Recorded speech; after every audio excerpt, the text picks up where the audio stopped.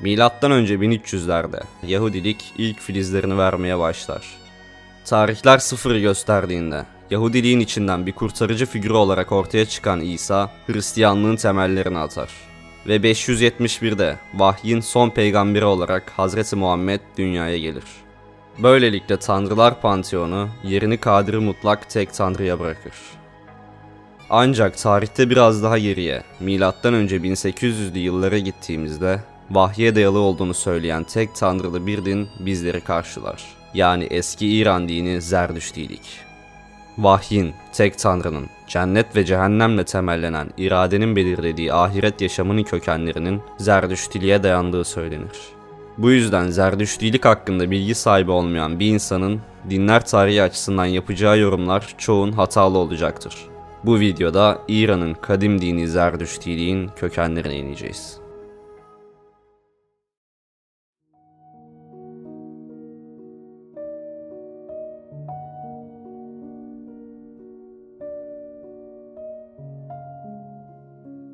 Asıl adı Zarathustra. Greklerde Zoroaster olan Zerdüşt, Zerdüştiliğin başlatıcısı ve kurucusu olarak kabul edilir. Tarihten onun hakkında bilgi edinmeye çalıştığımızda birçok tartışmada beraberinde gelir. Zerdüşt'ün yaşadığı yere, tarihe ve hatta onun gerçekten var olup olmadığına ilişkin yapılan çalışmalarda bazı fikir ayrılıkları olduğunu görürüz. Bazıları onun hiç yaşamadığını söylese de bu iddialar pek de temelli değildir. Genel kanı onun yaşadığı yönündedir. Modern batı kaynakları, bunun yanında orta çağ kaynakları, Zerdüşt'ün yaşamına dair en yakın tarihi M.Ö. 660 ile 583 yılları olarak verir. Yine bazı modern batı kaynakları ve eski Yunan kaynakları onun M.Ö. 1800 ila 1200 yılları arasında da yaşamış olabileceğini belirtir. Tam sonuca varmak mümkün olmasa da biz onu genel kanıdan hareketle M.Ö. 600 ila 583 tarihlerine yerleştirebiliriz. Zerdüştü ve Zerdüştiliği araştırırken temel aldığım kaynaklar Batı kaynakları olacaktır. Bunun sebebi ise bu din hakkında yapılan çalışmaların birçoğunun Batılılar tarafından yapılmış olmasıdır. Batı'da Zerdüşt'e olan ilgi 18. yüzyıllarda başlar. Nietzsche zaten bir Zerdüşt hayranıdır. Yine Hegel, Avesta'ya büyük ilgi duyar. Goethe, eserlerinde Zerdüşt ve Avesta hakkında bilgiler verir. Zerdüşt araştırmalarının arşa çıktığı 20. yüzyılda ise İsveç'in eski başpiskoposlarından Nathan Söderblom, Zerdüşt'ün kutsal kitabı Avesta'yı Pehlevi dilinden İsveççe'ye çevirmiş. Ayrıca Zerdüşt felsefesi hakkında detaylı bilgiler vermiştir. Bununla birlikte batıda Zerdüştiliğe olan ilgi artmış ve 1930'lardan sonra oldukça kapsamlı çalışmalar yapılmıştır. Ayrıca batılı tarihçiler bu konudaki çalışmalarını daha sistematik, belgeye ve arkeolojik kalıntılara dayalı icra etmişlerdir.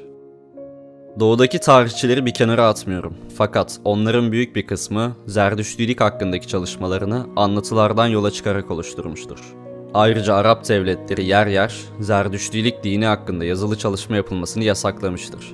Örneğin 11. yüzyılda eski İran inancına yani Zerdüştülüğe büyük ilgi duyan Firdevsi, Şahname adlı kitabında Zerdüşt ve Zerdüştülükten söz ettiği için öldüğünde Müslüman mezarlığına gömülmemiştir kutsal kitap Avesta'dan söz ettiğinden dolayı dinden çıktığı söylenmiştir.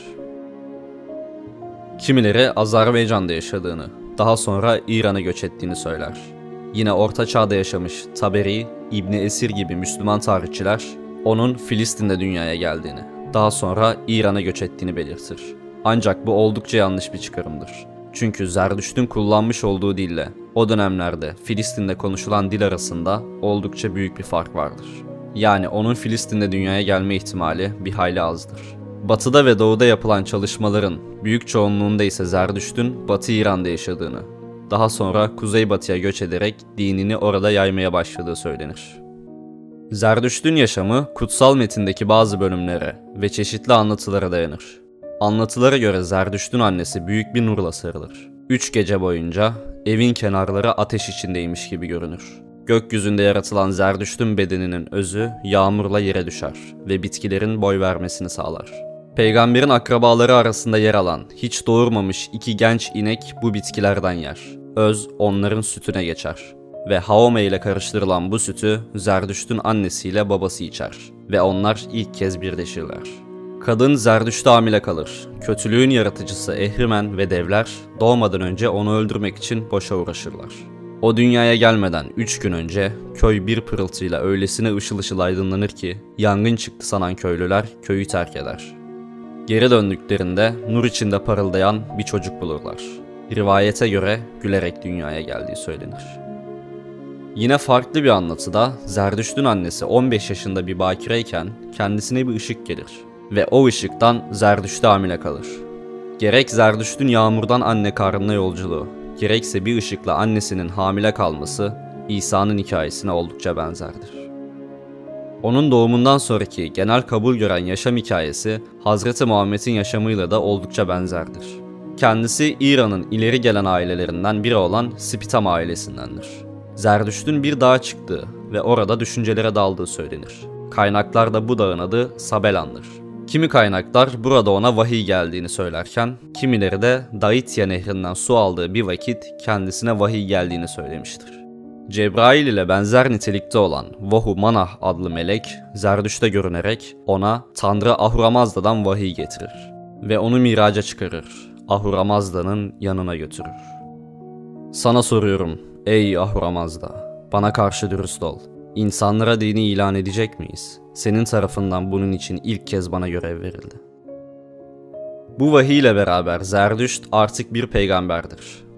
Ben Ahuramazda'nın işlerini bilen biri olarak gücüm ve kuvvetim yettiği sürece insanları aşağıya yönlendireceğim. Daha sonra kendi toplumunda peygamberlik faaliyetleri icra eder. Fakat insanlar onu benimsemek yerine ona düşman kesilir ve göç etmek zorunda kalır. Nereye kaçmalı, nereye gitmeli? Beni ailemden ve aşiretimden uzaklaştırıyorlar. Ne köyüm ne de memleketin kötü reisleri benim yanımda. Seni nasıl hoşnut edebilirim ey Ahramazda? Bunun üzerine Zerdüşt Belhe göç eder ve Keyani hükümdarı Kral Güçtab'la tanışır. Ona dinini anlatır ve kral Zerdüşt'ün dinine katılır. Ardından Zerdüştilik yayılmaya başlar. Zerdüşt'ün genel yaşam hikayesi böyledir. Çoğu araştırmacıya göre Zerdüşt bir inanç kurucusu olduğu kadar bir hukukçu, sosyolog, siyaset adamı ve filozoftur. Raffaello, Atina Okulu adlı eserinde Zerdüşt'e bir filozof gözüyle bakar ve ona yer verir. Yine Platon onun hakkında Zerdüşt bir tanrı tercümanı olarak insanları kurtarmak için gelmiştir der. John de Menes onu iyilik dostu, kötülük düşmanı, çaresizlerin yoldaşı olarak niteler. Donald Wilber, Zerdüşt'ün ortaya koyduğu inanç sisteminin dünyanın en büyük ve köklü, felsefi boyutu alabildiğine zengin, ahlak temelleri sağlam bir sistem olduğunu söylüyor. Zerdüşt'ün ahlak anlayışı şu sözüyle özetlenebilir. İyi düşünmek, humata, iyi konuşmak, husta ve iyi şeyler yapmak, hıvaşta. Alevilerdeki eline, diline, beline sadık olma düsturunun da buradan geldiği düşünülmektedir. Zerdüşt vahye dayalı yani Tanrı'dan buyruk almaya yönelik din yapısının ve tevhid inancının ilk temsilcisidir. Daha eski inançlarda vahiy anlayışını görsek de bu inançlarda sistemli bir yapıda değildir. Bu yüzden tarihçilerin birçoğu Zerdüşt'ün vahye dayalı din anlayışının ilk temsilcisi olduğu konusunda hemfikirdir. Getirdiği bu yeni anlayışla Tanrılar Panteonu terk edilecek ve kadiri mutlak tek Tanrı'nın hakimiyeti başlayacaktı.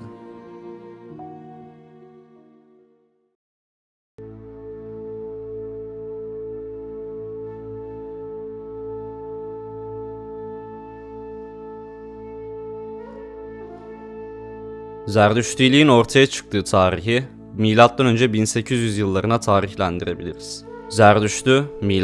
680'e yerleştirirken bu dini daha eskiye yerleştirmemizin en temel sebebi Zerdüştiliğin tam olarak belirmeye başladığı yıllardan önce de İran toplumunda Zerdüştilik öğretisinin var olmasıdır.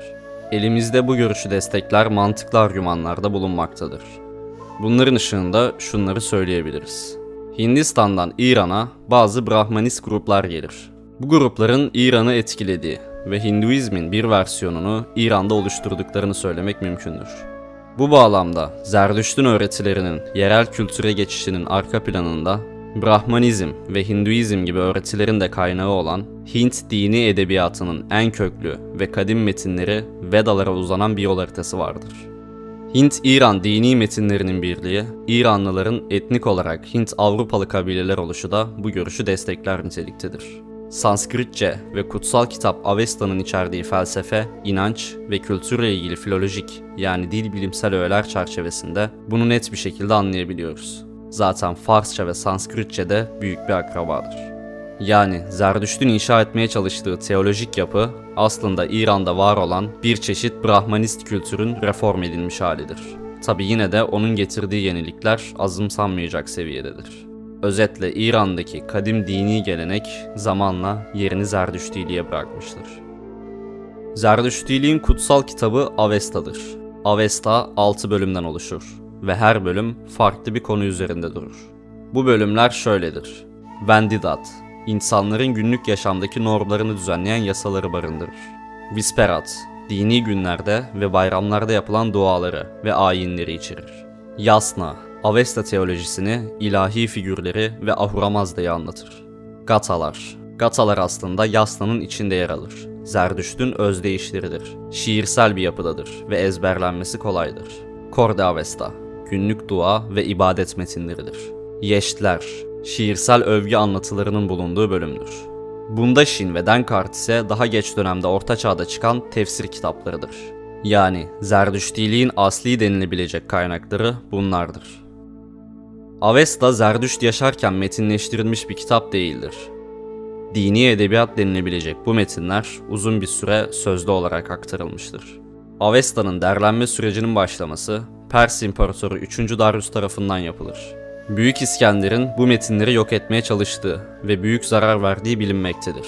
Daha sonra Persler yıkılınca kurulan yeni İran devleti Pars döneminde Avesta'nın ortaya çıkarılmasına yönelik çalışmalar yapılır. Part'ın yıkımından sonra kurulan Sasaniler dinin kaynağı olan Avesta metinlerini derler. Sasani devletinin resmi dini olur.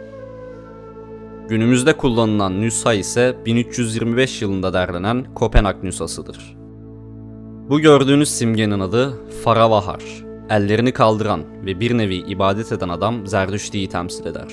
Üç parçadan oluşan bir kanat görürüz. Bunlar Zerdüştiliğin ahlaki öğretisinin özetidir. İlk katman iyi düşün, ikinci katman iyi konuş ve üçüncü katman iyi eyle anlamlarını taşır. Alttaki üç kısım ise yanlış düşünce, yanlış söz ve yanlış eylemi temsil eder. Buradaki iki kıvrım Zerdüştiliğin temellendiği dualizmi temsil eder. İyilik ve kötülük arasındaki mücadeledir. Eldeki halka ilahi kozmosun Tanrı'nın elinde olduğuna işaret eder. Zerdüştiliğin dini anlayışa getirdiği yenilik, insanların düşünce yapısını tümden etkiler. Bu reform, tarihi lineer bir konuma sokar. Yani zaman bir doğru halini alır. Başı ve sonu belirlenir. Yahudilik, Hristiyanlık ve Müslümanlıkta da karşılaştığımız gibi başı olan zaman kıyametle beraber bitecektir ve metafizik bir zamana, ahirete geçiş yapılacaktır. Zerdüşt'ün öğretisi erken dönemde henoteistik yapının revize edilmiş halidir. Henoteizm dediğimiz şey prensipte tek tanrıcılıktır. Ama bunun yanında tanrıya yakın ilahi güçler de vardır. Yani antik dönemde karşılaştığımız, özellikle Sümer, Mısır ve Yunan teolojisindeki tanrılar panteonunun yani çok tanrıcılığın daha komplike edilmiş halidir.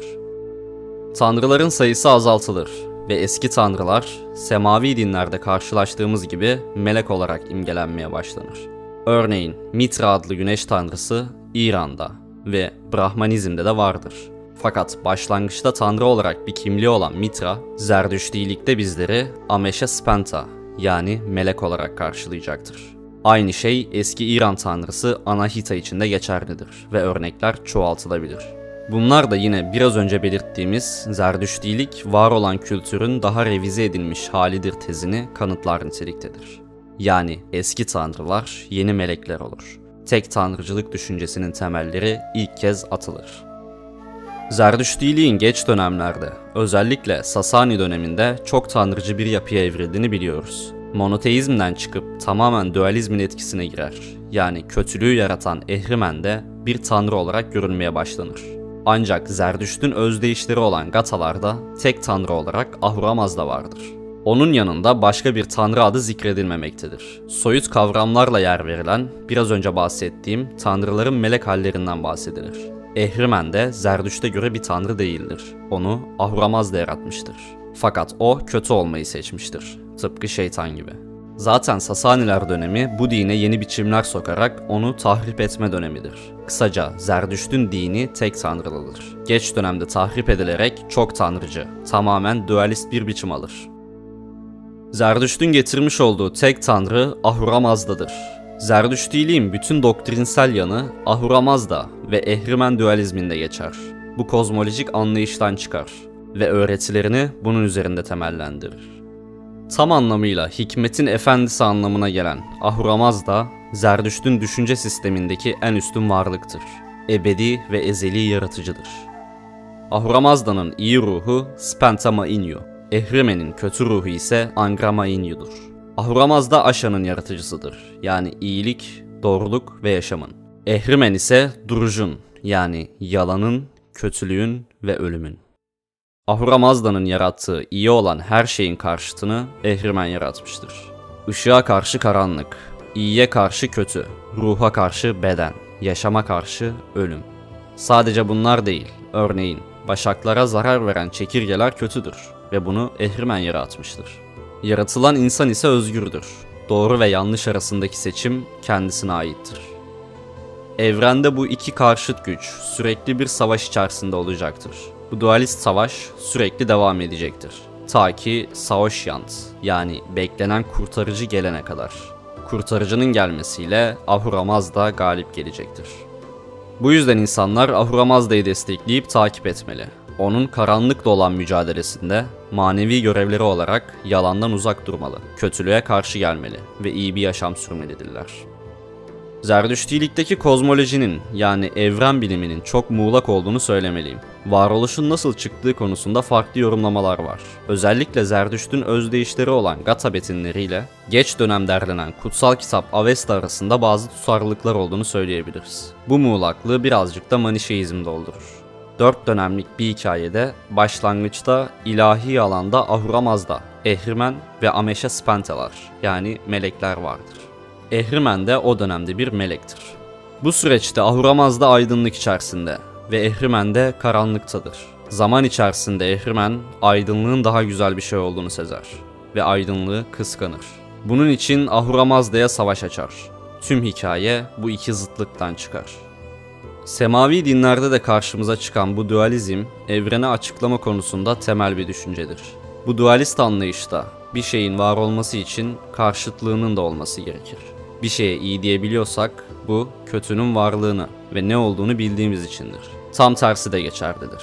Fakat karşıtlığın olduğu yerde kaos da vardır.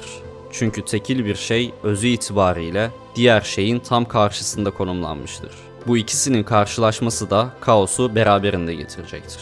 Kaosun bitmesi için ikisinden birinin yok olması ve var olan tanımlamadan kurtulup saf, duru bir biçim alması gerekir.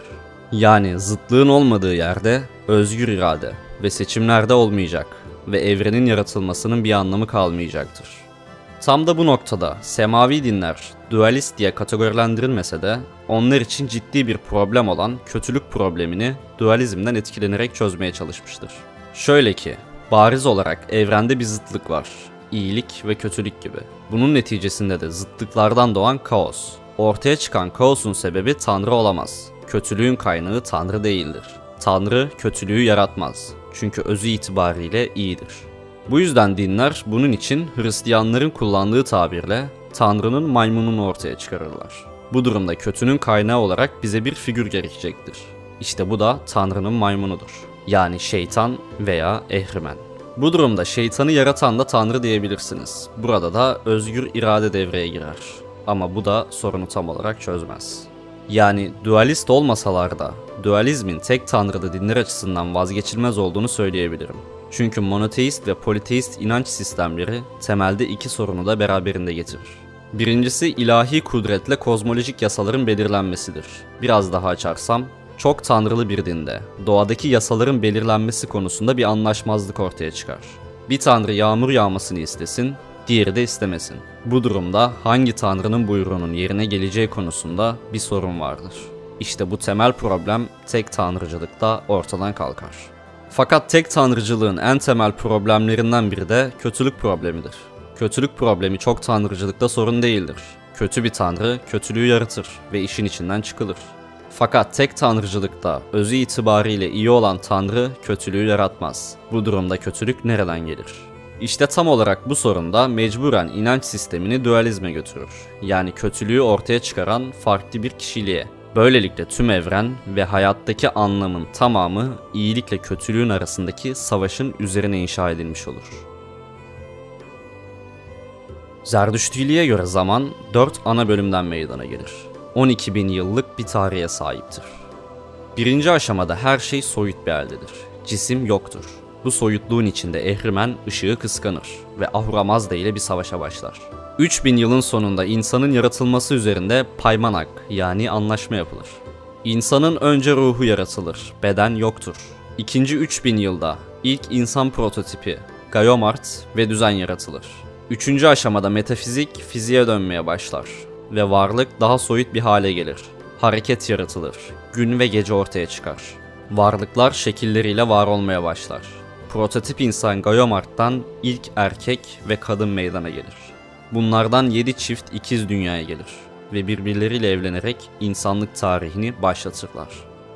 Ahuramaz da ilk insan çiftini yaratırken onlara seslenir. Bakın sizi gayet mükemmel bir şekilde yarattım. Buna göre siz de iyi düşünün, iyi söz söyleyin ve iyi şeyler yapın. Sakın Ehrimen ve taraftarlarına uymayın der. Ama daha sonra Ehrimen ve yardımcıları insanları yoldan çıkarmışlardır. Böylelikle ilk başta tertemiz olan Maşa ve Moşo yani ilk kadın ve ilk erkek zamanla bozulmuşlardır. Dördüncü aşamada yani son aşamada ise bir kurtarıcı gelip yeryüzündeki kötülükle savaşacaktır. Ve nihai sonuç olarak Ahura Mazda'nın zaferiyle tarih sona erecektir. Tıpkı Yahudilikteki Mesih, Müslümanlıktaki Mehdi gibi Hristiyanlıkta Mesih olarak İsa gelmiştir ve çarmıhta akıttığı kanla Hristiyanların günahlarının bedelini ödemiştir. Fakat günümüzde Hristiyanlar arasında İsa Mesih'in tekrar dünyaya geleceğini düşünenler de vardır. Zerdüştilikte varlığın dört aşamasındaki detayları Sami dinlerde görmek de mümkündür. Örneğin Zerdüşt inancında dünya altı evrede yaratılır. İlkin gök, uzay yaratılır. Daha sonra sırasıyla yer, dağlar, bitkiler, hayvanlar ve son olarak da insanoğlu. Tevrat'ın yaratılış bir bölümündeki hikayeyi incelediğimizde de Tanrı önce gök ve yeryüzünü yaratır. Daha sonra sıralama biraz değişir fakat son olarak insanı yaratır. Ve dediğimiz gibi bunlar 6 günde olur. Tanrı yarattıklarına baktı ve her şeyin çok iyi olduğunu gördü. Akşam oldu, sabah oldu ve 6. gün oluştu. Gök ve yer bütün öğeleriyle tamamlandı. Yine 6 günde yaratılma olayı Kur'an'da şöyle geçer. Gökleri ve yeri 6 günde yarattık da en küçük bir yorgunluk çekmedik. Bir başka noktada biraz önce söylediğimiz insanın yaratılışında zerdüştilikte başta ruh yaratılır. Daha sonra ona beden giydirilir. Aynı şeyi Kur'an'da görmek mümkündür. Andolsun ki sizleri yarattık, sonra size şekil verdik. Ateş zerdüştülük için temel unsurlardan birisidir. Eski İranlılar için ateş tapar denilmesi de tam olarak buradan gelir. Fakat onlar ateşe tapmıyorlardı. Ateş, Zerdüş tarafından Ahura Mazda'ya nispet edilse de kendisine yakarılan bir varlık olarak tasvir edilmemektedir. Ateş Ahura Mazda simgeler. Fakat ateş put olarak tanrı değildir. Ki Zerdüştilik de putlara tapılmasını yasaklayan bir dindir. Fakat geç dönem Zerdüştilikte ateşe daha fazla önem verilir. Mabedin vazgeçilmez unsuru haline gelen ateş, ateşkah ve ateşkedelerde sürekli canlı tutulur. Bu durum onları ateş taparlar olarak nitelendirilmeye sebep olur. Zerdüştilikte yaşam çalışmayla şekillendirilir. Zerdüşt Ahura Mazda'ya sorar. Mutlu bir yeryüzü nasıl olmalı? Ahura Mazda şöyle yanıtlar.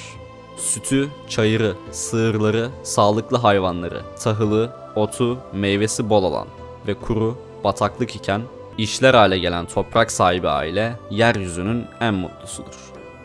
Toprağı işlemek, hayvancılıkla uğraşmak ve her şeyden önce doğayla iç içe yaşamak zerdüştülük için ibadetlerin en yücesidir. Hayattaki temel gaye aile kurmak ve çalışkan olmaktır. Doğaya, hayvanlara zarar vermek affedilmez bir günahtır ki kurban kesmek de yasaktır.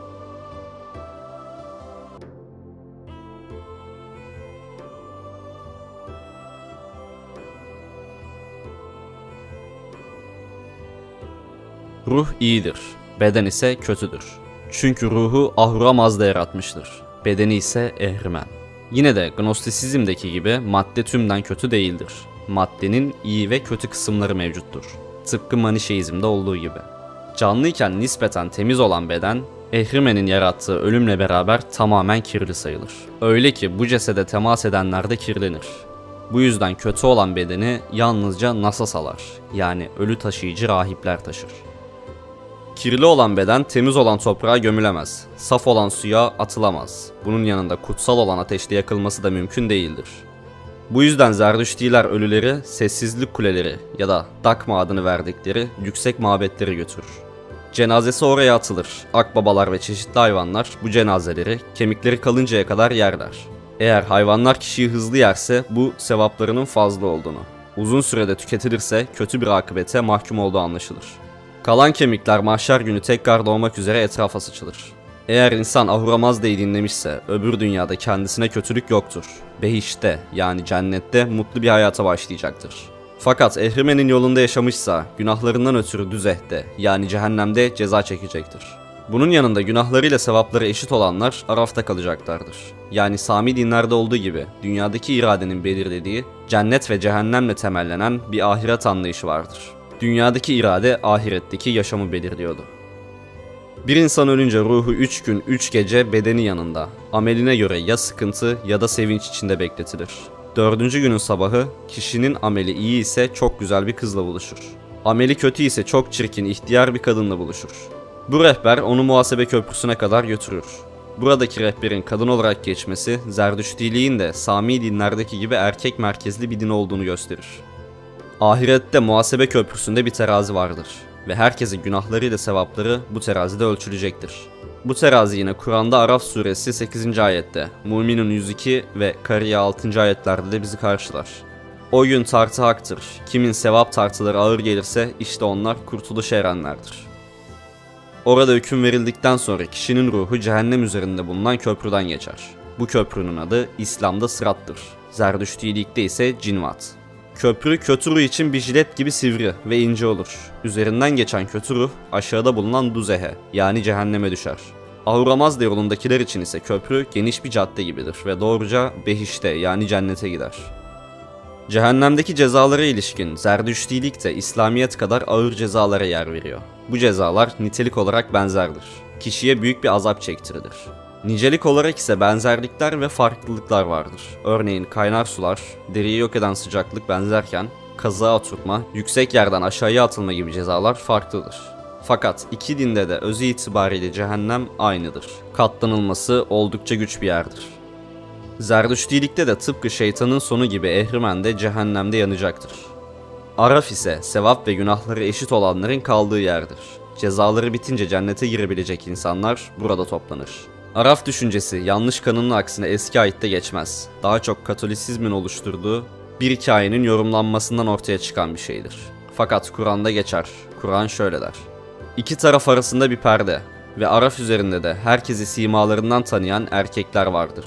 Ki bunlar henüz cennete giremedikleri halde girmeyi umarak cennet ehline selam size diye seslenecekler. Gözleri cehennemlikler tarafına çevrildiği zaman ey Rabbimiz bizi zalim toplumla beraber kılma diyecekler. Cennetteki huriler zerdüşlükte de karşımıza çıkar fakat dünyada evlenenlerin ruhu sonsuza kadar beraber kalacaktır. Onlara huri yoktur. Ahiret yaşamına ilişkin Zerdüştiliği Tevrat ve İncil ile karşılaştırdığımızda cennet, cehennem, günah, sevap gibi benzerlikler bulacağız. Fakat cennet ve cehennemin içeriğine dair huriler, şarap çeşmeleri, cehennemdeki irinler gibi bunlar Tevrat'ta ve İncil'de yok denilebilecek düzeydedir. Bu yüzden Zerdüştiliğin Kur'an'la olan ilişkisi de bu tarz detaylarda daha fazla ortaya çıkar. Dünyadaki yaşamda da birçok benzerlik buluruz. Örneğin Aştat ve Zamyad adlı melekler insanların dünyada yaptığı amelleri kayıt altına alır. Biri kötülükleri yazar, diğeri iyilikleri. İslamiyet'te Kaf suresi 17 ve 18. ayetlerde bu melekleri görmek mümkündür. Zerdüştilik putlara ve heykellere kesinlikle izin vermezdi. Yunan tarihçi Herodot buna değinir ve dönem içinde bu tür putların varlığını gösteren bir delil yoktur. Bunun yanında İslamiyet'teki kelime-i şehadet gibi bir ritüelleri de vardır. Ben kendimi Mazda'nın tapıcısı, Zerdüşt'ün takipçisi olarak açıklıyorum. Kötü güçlerin düşmanı, iyi güçlerin dostuyum ve Ahura Mazda'nın kurallarına bağlıyım. Bunun yanında uğuz kesme gibi bazı şer'i kurallar da benzerdir. Gıybet konusunda da İslamiyetle örtüşür. Gıybet kesinlikle yasaktır. Zerdüştilikte de evlilik ve nesli korumak önemlidir. Zina ve eşcinsellik yasaktır. Ey Zerdüşt! Mazda dininde itiraf etmek kişiyi günahının zincirinden kurtarır. Bu da Sami dinlerde var olan tövbe inancının Zerdüştilikte de var olduğunu gösterir. Tufan hikayesine değinmiyorum. Zira bu hikaye Sami dinlerin ve Zerdüştiliğin yanında Hint, Asya, Yunan, Sümer, eski Babil dini geleneklerinde ve Gılgamış destanlarında da karşımıza çıkar. Oldukça yaygın bir anlatıdır. Zerdüştilikte ibadet günde 5 defa yapılır.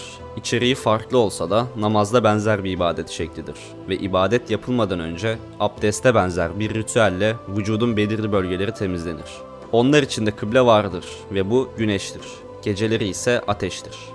İslamiyet'teki imam Zerdüştilikte mubittir ve namaz benzeri ibadeti o mubit gerçekleştirir. Zerdüştilerin ibadet vakitleri sabah, öğlen, ikindi, akşam ve yatsı olmak üzere İslamiyetle hemen hemen aynıdır. Yine sabah namazının önemi İslamiyet'te olduğu gibi Zerdüştilikte de çok önemlidir.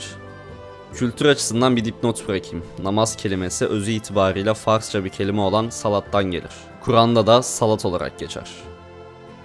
Vaat edilen kurtarıcı anlatısı çok eskilere dayanmaktadır. Temelde Yahudilerin sürekli sürgün edilmesinden ortaya çıktığı söylenir. Milattan önce 719 yılında Asurluların Kenan diyarını işgaliyle başlayan sürgün Babillilerle, daha sonra Yunanlıların Büyük İskenderiyle ve milattan önce 37 yılında da Romalıların hakimiyetiyle devam eder. Bu yıkıcı durumun belirtisi olarak ise halkın imgesinde bir kurtarıcı figürü ortaya çıkar. Ve buradan Hristiyanlık ve Müslümanlığa geçer. Fakat daha eskide yani Zerdüştilikte de bu imge vardır. Adı Saoşyant'tır. Saoşyant, Kansava Gölü'nde yıkanan bir bakirenin o gölde bulunan Zerdüşt'ün spermiyle gebe kalması sonucu dünyaya gelecektir. Yalanla mücadele edecek ve gerçek bir hakimiyet kuracak. Hastalık, ölüm, ihtiyarlık onun döneminde olmayacak. Düzeni Ahura Mazda'ya göre tam sağladıktan sonra dört dönemde kıyametle birlikte sona ermiş olacak ve artık herkes ölüp mahşere gidecektir. Kurtarıcı fikrinin daha eskilerde de yer yer var olduğunu söylemeliyim. Bu inancın ilk defa nerede çıktığı bilinmese de yazılı olarak bundan 4500 yıl önce ilk defa Asur kralı 1. Sargon, sonrasında Babil kralı Hammurabi'nin kendilerini geleceğin Mehdisi olarak gördüğünü biliyoruz. Zerdüştilik ile İslamiyet arasındaki keskin çizgi kurban ve oruçla çizilir. Doğa ve çalışma temelli bir din olduğundan kurban vermek kesinlikle yasaktır. Aynı şekilde oruç tutmak da insanları güçten düşürüp işlerinden edeceği düşüncesiyle yasaklanmıştır. Nispeten daha ön planda olan belirtmiş olduğum bu benzerlikler ve farklılıklar buzdağının görünen kısmıdır. Daha sıralayabileceğimiz birçok anlatının olduğunu unutmayalım.